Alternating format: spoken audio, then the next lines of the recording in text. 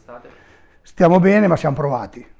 Parole che esprimono tutta la stanchezza psicofisica che Giuseppe Moneti e la sua famiglia stanno provando dopo questi anni e ultimi mesi in cui la sorte sembra avergli voltato le spalle. C'è però una luce in fondo al tunnel. Ci sono infatti importanti sviluppi sulla nuova abitazione che accoglierà i Moneti, una conseguenza inevitabile dopo la confisca della loro casa in via Persoria e dopo l'ennesima scadenza per lo sgombero imposto dal giudice, fissato questa volta per l'11 aprile. Dopo mesi di ricerche, la famiglia del giovane Alessandro, 26enne rimasto in sedia a rotelle dopo un incidente in scooter, ha firmato un contratto d'affitto dal 1 giugno in un appartamento a Loreto di Pesaro.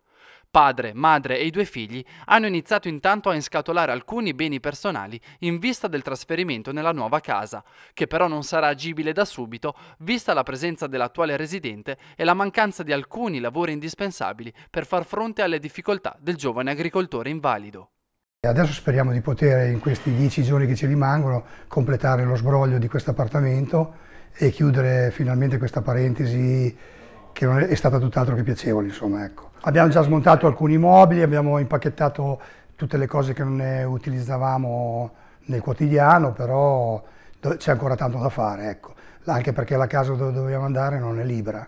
C'è questa signora dentro che ha più di 80 anni, che si è resa disponibile a darci la sua casa, però sta facendo fatica a trovare per lei una sistemazione. Adesso sembra che si sposti da dei parenti a Roma per un periodo e quindi a noi ci dà il modo di fare i lavori in maniera che riusciamo a entrare il prima possibile. La nuova aggiudicataria dell'immobile, che fino a poco tempo fa era di proprietà dei Moneti, ha chiesto alla stessa famiglia un risarcimento di 7.500 euro per le spese legali ed affitto che lei stessa ha dovuto sostenere in un'altra abitazione nel frattempo che il suo nuovo appartamento venisse liberato. Ulteriori ingenti spese che però la famiglia Moneti non riesce a supportare.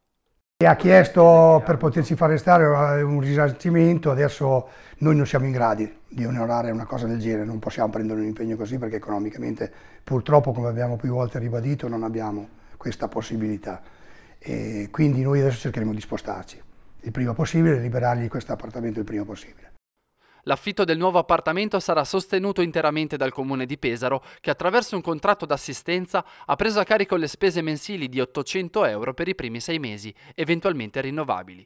Una situazione complessa che ha inevitabilmente rallentato il trattamento fisioterapico di Alessandro, che quotidianamente da circa nove anni a questa parte avviene in un centro privato di Macerata, per un costo mensile tra i 3 e i 4 mila euro. Una frenata c'è stata anche per la continuazione del sogno che Alessandro e papà Giuseppe coltivano insieme, quello di gestire e lavorare un appezzamento di terreno agricolo. Un'azienda padre-figlio che mesi fa era salita alla cronaca per una raccolta fondi per poter dare in mano ad Alessandro un trattore che potesse guidare nonostante le difficoltà motorie. Una campagna solidale che sta proseguendo a passo spedito.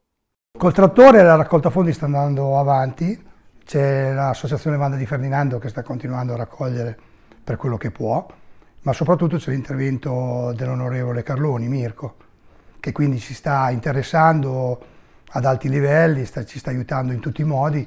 Siamo fiduciosi che per l'autunno abbiamo il trattore, insomma. Uno spiraglio di luce si intravede anche dalla riapertura del procedimento legato sull'incidente che nella notte tra il 24 e il 25 maggio 2014 ha per sempre cambiato la vita di Alessandro e dei suoi cari. Il 18 maggio sarà ascoltato davanti al giudice il testimone che pare ricordarsi di alcuni dettagli sullo schianto provocato dal pirata della strada, fuggito senza prestare soccorso. Cerchiamo di non illuderci, insomma, però dai, eh, sicuramente è una buona notizia che comunque hanno deciso di riaprirlo e che ci sono delle, delle novità, quindi poi vediamo anche come, come si sviluppa il tutto. Un sorriso di speranza che rimane stampato sul volto del giovane anche quando lui stesso prova a immaginare come sarà Alessandro tra dieci anni. Ma Alessandro tra dieci anni spero in piedi, che la terapia dia, dia i suoi frutti. E la vicenda del trattore fra dieci anni, molto prima, spero già di guidarlo, magari anche senza, senza ausili, e la vicenda della casa che potessimo avere una, un'abitazione nostra, magari di poterla comprare di proprietà e stare un attimino, un attimino tranquilli.